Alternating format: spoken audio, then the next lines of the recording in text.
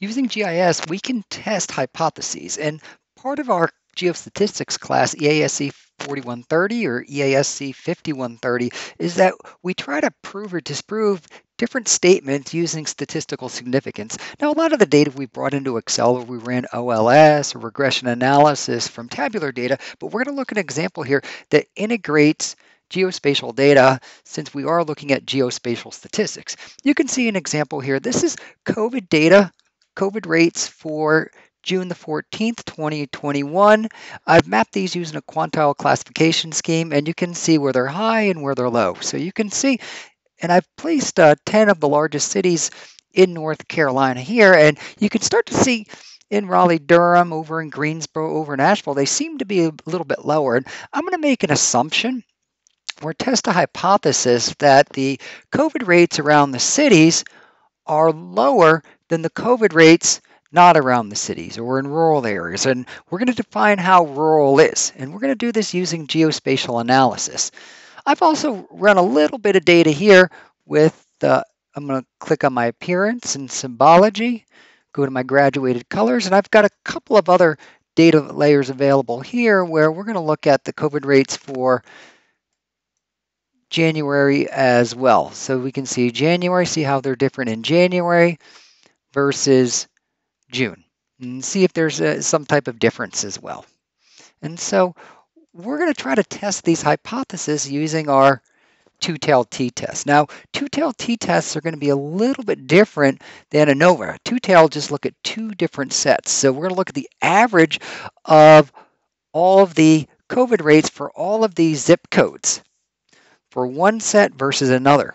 With an ANOVA, we're looking to see if there's differences in the means between three or more sets. So I want to make sure we understand the difference between those. And so in essence, when we run this two-tailed t-test or independent sample t-test, there's a number of different names for it. All we're trying to do is see if there's a difference in one set of COVID values versus another set of COVID values. And we're going to integrate this using spatial analysis, and we're going to bring this into Excel. And so when I open up the uh, when I open up the attribute table, you can see I've got COVID rates for January, COVID rates for June. I have a unique ID. And what I'm going to do is I'm going to create a brand new column that says if it's near a city. Now, we're going to run some analysis right here, our select by location to define what near is, and we're just going to make that a yes or a no, and then compare the means that are yeses versus the means that are no's. And so in order to add a column, I can go to my field view, and there's a number of different ways we can do this. And I'm going to just click here.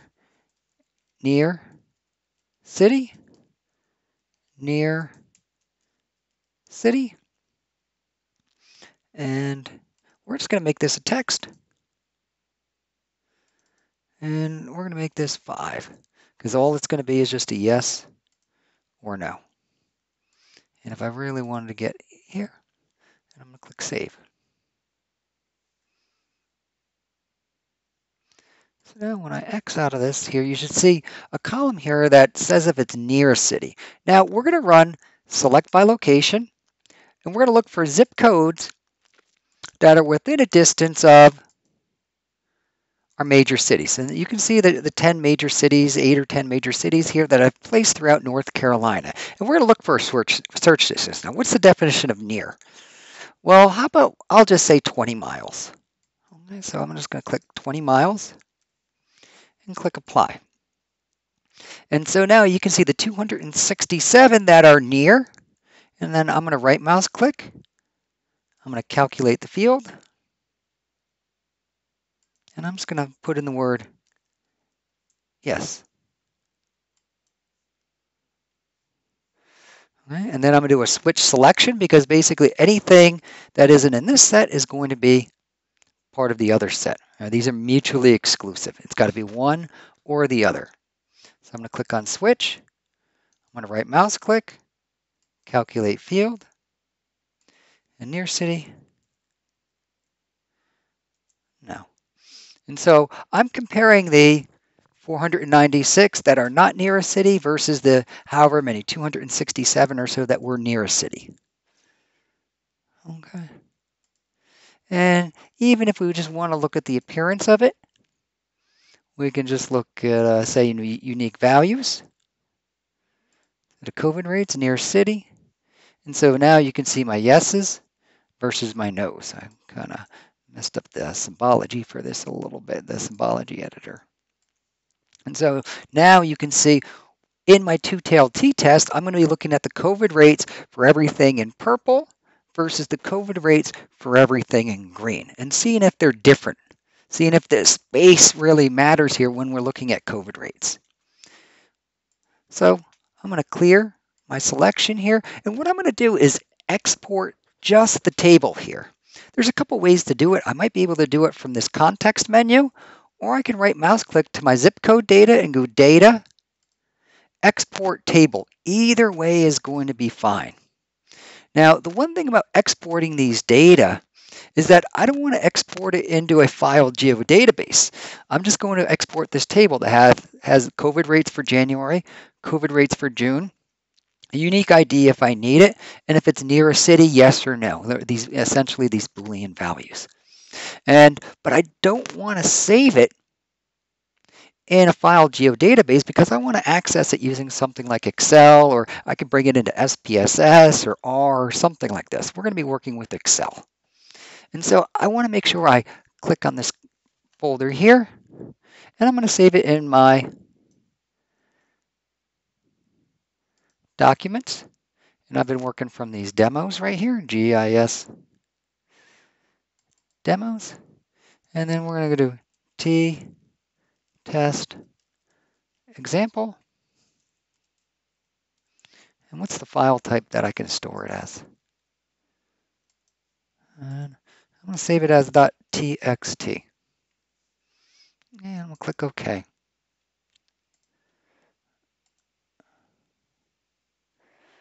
Well, let me try this one more time. Oh, I got to click on the folder first. I'm sorry. There.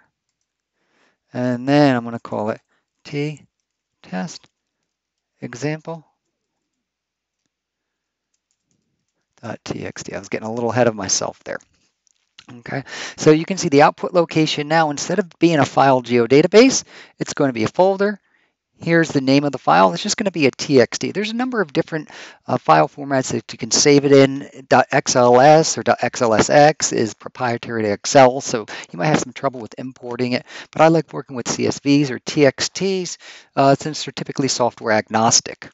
So I'm going to click OK, and I can save it here, but I'm just going to remove it here in case we have some file sharing or anything like that. So what I'm going to do is I'm going to open it up here. I'm going to browse. I'm just going to bring this into Excel, and this is a very, very simple file that we're looking at. We're looking at my uh, GIS tutorials and demos. I want to click all file types, and then here it is. Okay, so it's delimited, it's fixed width. Okay, this is going to delimited by commas. And we do have headers.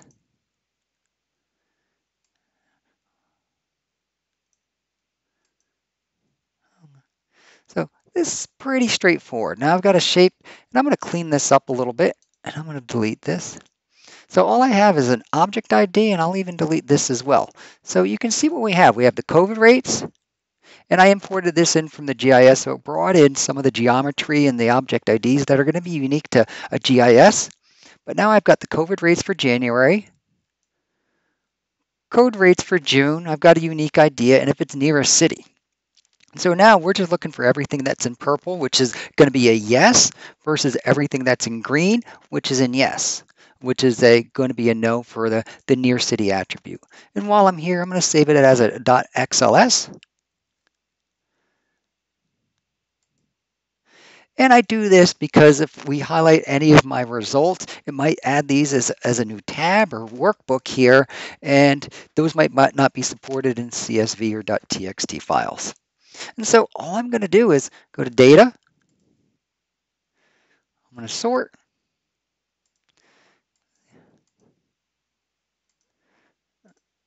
Okay, so we're going to sort.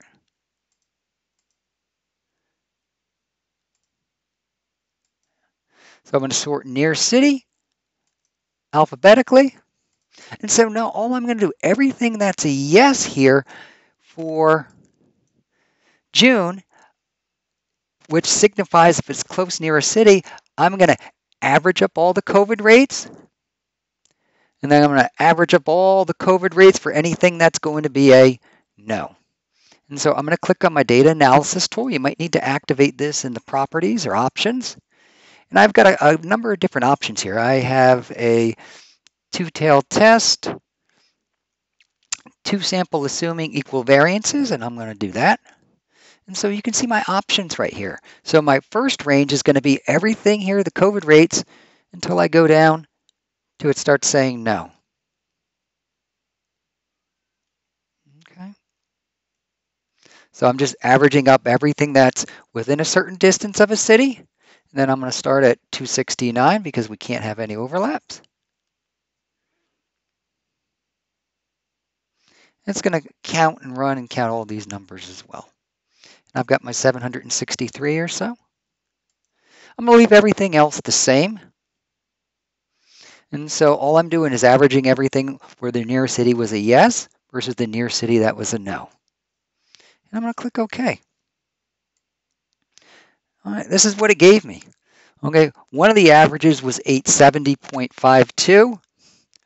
The other average was 870.88. Uh, I didn't plan this, but you can see that the average the average COVID rates for areas near a city versus outside of a city were almost exactly the same. And then you can see the p-value here. And me personally, I like working with p-values for your, your two tails. It's about 0.98, 0.99. This tells us that these are not statistically different. We need to accept, or we're going to accept the null hypothesis in this case, where that variable one, the COVID rates, the average for the COVID rates within a certain distance of a city, are equal to the average COVID rates outside of the city, you know, rural areas or whatever we want to call those. Now I'm going to try it one more time, see if there's a difference because I know that COVID rates and the dynamics of COVID rates spatially have changed over the course of the pandemic. And so we're, we're looking at these COVID rates here for January to see if they've changed. I'm going to run the exact same thing. So I'm going to run my data analysis, t-test, independent t-test, two sample assuming equal variances. I'm going to click OK here. And to be honest with you, instead of re, uh, reselecting all of these, I'm just going to change the column number to A. So wherever there's an A, Wherever there's a B, I'm going to put an A.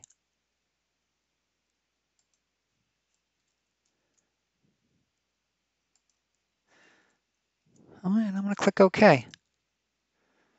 All right, now let's see the difference here. All right, so within a city, it was 606, okay, variable one, that's where near city was yes, 263, versus 640. And so within 20 miles of city in January, it was 606. In the rural areas, it was 640. It was much, much higher. Okay, and these are in rates per 10,000. And so it's got variance, number of observations, pooled means, these things I don't really care about. And what I really uh, focus on with students is don't I don't worry too much about the math, but how to interpret the results. This is what I care about right here this T-tail. I don't care. I, my assumption is that one isn't more than, than the other. Rural is higher. I just assume that one is going to be more than the other. That's why I utilize the two-tailed t-test to give us a little bit more flexibility there. And you can see here, this p-value is 0.09. And so with 90% confidence, I can say that the means from areas within a city, COVID rates close to the city are significantly different, and in this case, significantly less than COVID rates outside of the city back in January of 2021. So that's what this number says, okay, 0.09. The lower this number is, the more significant these differences. And you can see here, I do have a significant difference. I can say with 90% confidence or P is equal to 90, 90% or at the 0.1 confidence level. It's not 0.01 or 0.05, but 0.1 is is fairly good enough for me to say that these numbers are significantly different. And so in conclusion here, we can see we integrated, and this is what we call a loosely coupled application, but we integrated these data, we integrated these uh, data, brought them into Excel, and we're able to integrate geospatial analysis. We're looking at real world distances by calculating new columns and looking at a t-test of uh, two means or independent t-test of two samples to see if the COVID rates were different. In one case, they weren't different. They were literally the same. The other case, they were statistically different with 90% confidence. And hopefully looking at the, the looking at the p values, you can see those differences as we did this in Excel.